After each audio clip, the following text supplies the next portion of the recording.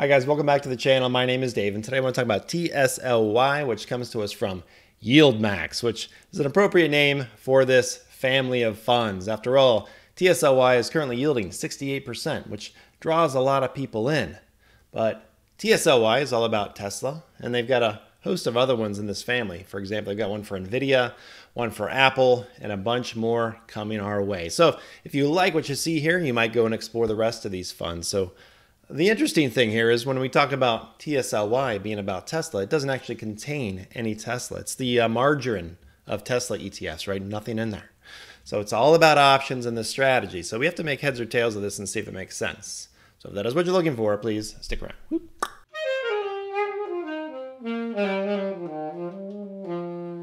TSLY began trading last November in 2022, so it is currently less than one year old. They've got about $600 million of assets under management. They take all that money and they invest it into Tesla options utilizing their strategy, which we will talk about. With that, they generate a lot of yield and they distribute that out every single month. So a lot of people like that monthly distribution idea. This is one of those. But for that, they, they do charge you 0.99%, let's call it 1%, to uh, manage this ETF. Now it is active management, but that is still pretty steep for compared to a lot of the ETFs that we, we talk about. That is at the very high end uh, compared to a financial advisor that's in line with actually having a financial advisor. So can we hold them accountable? Well, sort of. They're going to make decisions on when and how to trade these options, but at the same time, it is on an individual holding. So you're the one deciding if you like Tesla or not. That's really up to you and how that performs. But with all that information given, let's jump in and take a look at the website and exactly how this option strategy works. So at the YieldMax website, we do get to see some fancy glossy images of their offerings along with some of their up and coming funds. They are growing their lineup, so you might find what you're looking for here at a future date. And the first thing to understand is that whichever one of these you pick, whether it's the ARK Innovation ETF, Tesla, Apple, or Nvidia, you have to have a bullish long term view on the underlying stock. If not, don't buy this, just like you would not buy the stock. Now, obviously, the distribution rates are very impressive, and that's one of the reasons that people are interested in these, but uh, that's not going to be tax efficient if it isn't a taxable account. Something to consider. You're going to be receiving all that income and paying tax on that. So it might be better in a retirement account and uh, one other thought here is that, uh, you know, as these funds grow, the fund could run into some liquidity issues, especially if they dominate the option volume in a particular area. Like, let's say for the ARK Innovation Fund, where I would not, I, I would doubt their option volume is all that high. That might be something to think about. Uh, they might run into some problems there working with their market makers. So, Let's take a look now at the holdings because that's what it really is going to boil down to to see what Tesla would do if we handed them $100,000, right? Keep that in mind. Let's say we just tossed 100K into TSLY. Now what happens?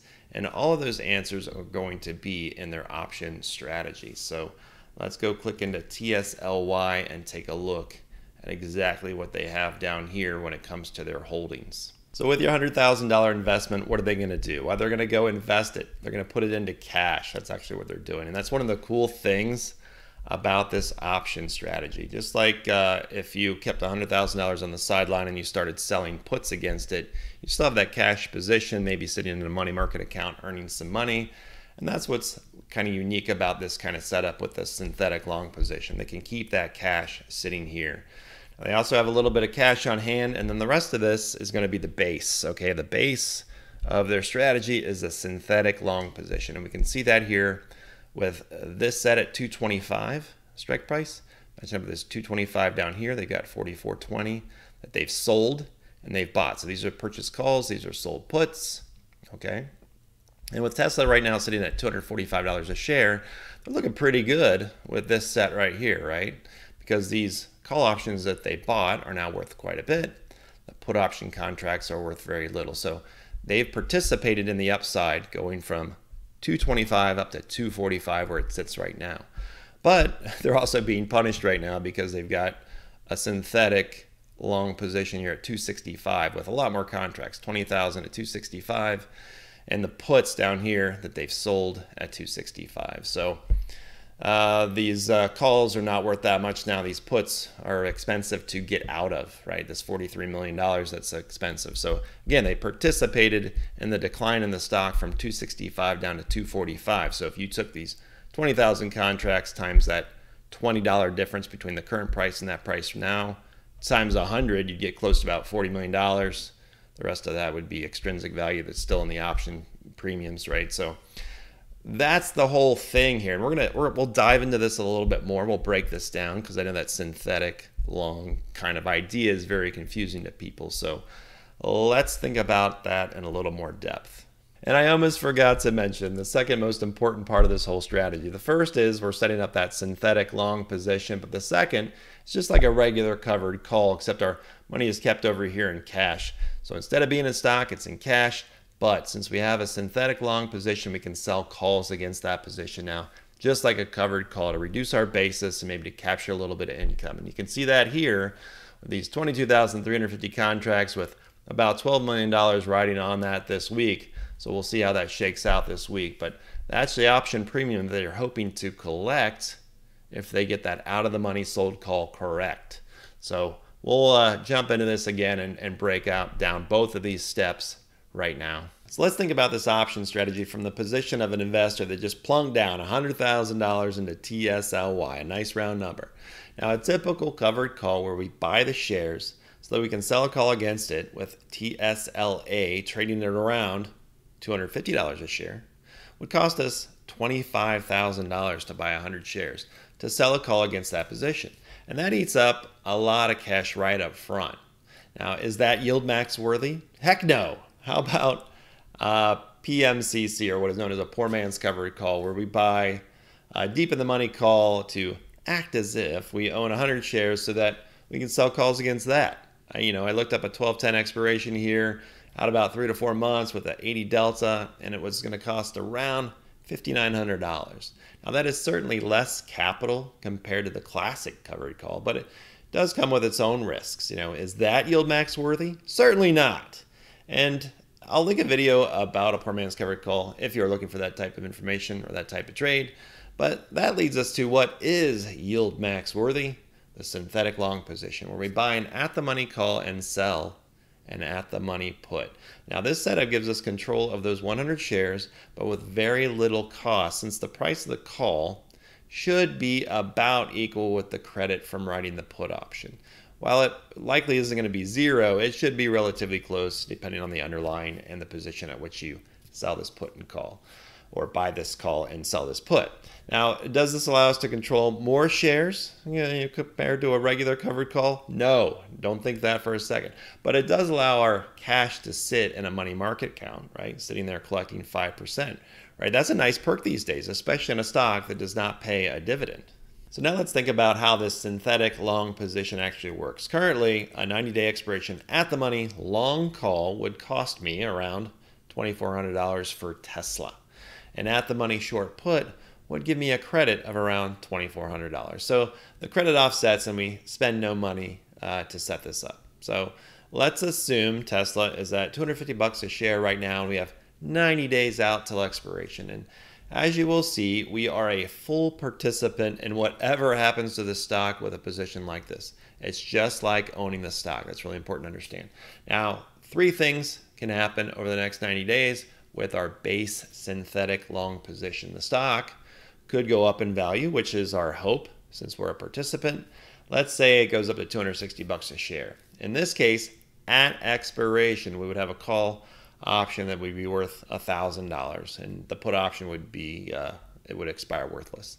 In long math terms, down here we've got the long call that we purchased for twenty four hundred dollars would now only have intrinsic real value. So if we exercised or rolled this option, it'd have about a thousand bucks. So we technically lost fourteen hundred dollars on the call side, even though it went up. But we kept all the option premium on the put side, and that option expired out of the money. So altogether, we made a thousand bucks, however you want to understand it, whatever works best for you. So that's a good result from our synthetic long position. Again, we participate in those $10 of it going up in value. Now, the second thing is that the stock trades sideways, right, till expiration, meaning all options expire without value. Now, in this case, we made nothing on the synthetic long position, and this should be a fine result for this fund since the calls that we're going to be selling later on in step two will add income, whereas if you just own the stock, it's yielding nothing, right? So that's one of the perks here. Now, the third option, of course, is the one we want to avoid, and that's a decline in the stock. If the stocks was to drop to, let's say, 235 bucks a share, for example, we'd lose $1,500, just like owning the stock. The call would be worthless, so you're out that 2,400 bucks, but you would make $900 on the put option for an overall loss of $1,500. Again, whatever works best for you.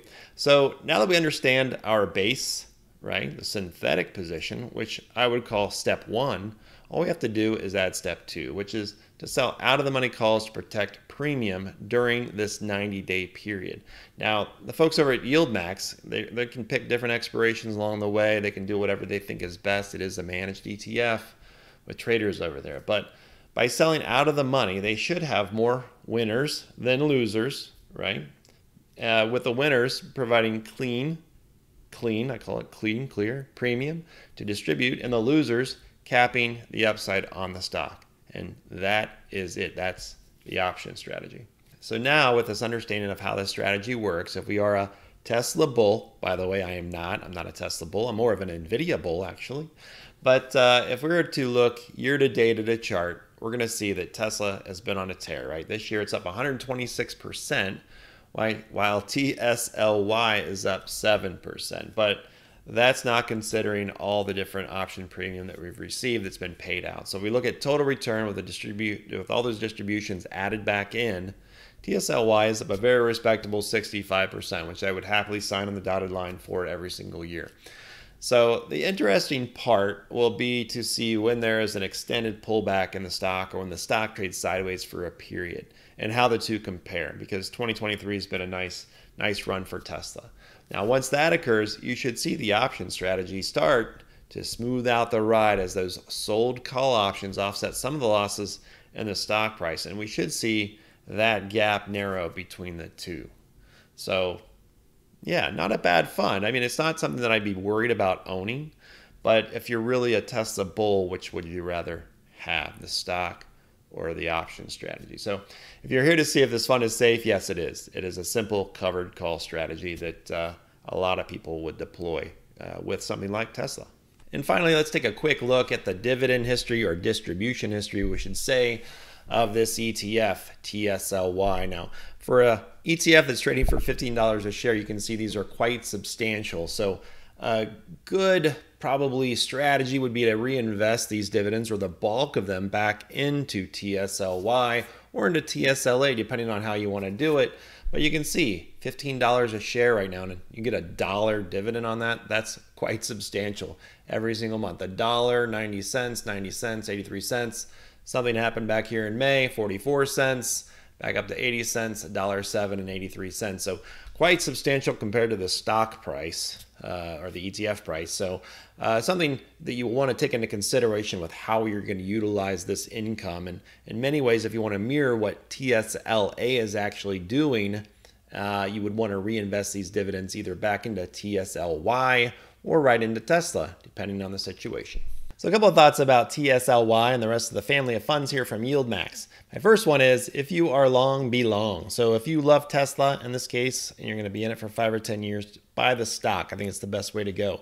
For me, I like NVIDIA and I like Google and I'm long Apple for sure. It's my largest holding. So for me, I would just buy and hold Apple shares. I think that's better for me. But if you want to invest a little amount and you're not going to buy enough to sell your own covered calls and this kind of thing, and you just want to hedge it a little bit, maybe that's a good way to use a product like this. So if you have, let's say you have $10,000 to invest in Tesla, maybe you put $8,000 into the stock and $2,000 into something like TSLY, which will hedge your position a little bit. You know, when it declines, and when it declines, maybe you can use that income to buy more Tesla shares because you're buying at a reduced price. Just some thinking out loud there, but uh, there might be some creative ways to use these YieldMax funds. But again, if you're long, be long. In summary, I do think that there's probably lots of creative ideas that you could come up with to utilize these YieldMax funds. But the bottom line is you have to be bullish on the short and long term uh, for the underlying that you're going to use. So I do use this strategy, and uh, I'm going to show you exactly how you can utilize it yourself. I'm going to do a follow up video. It should be out here very shortly. Do it yourself YieldMax, but that's kind of cost prohibitive. And again, you're paying for expertise here. You're paying that 1% for expertise. If you don't want to mess around with it, it's very inexpensive to invest a small amount into these YieldMax funds versus trying to do it yourself and being on the hook for something. So when we say buy 100 shares of Tesla for $25,000, right? That's that's very different. Same thing with this synthetic long position. You could be on the hook for quite a bit of money. So it's not going to be for everybody, but uh, that'll be coming out. So if you like that kind of thing, like and subscribe. Now, appreciate you watching this. Any questions, ask down below or email me. Doesn't matter. I'll respond, and we'll see you next time. Take care. Whoop.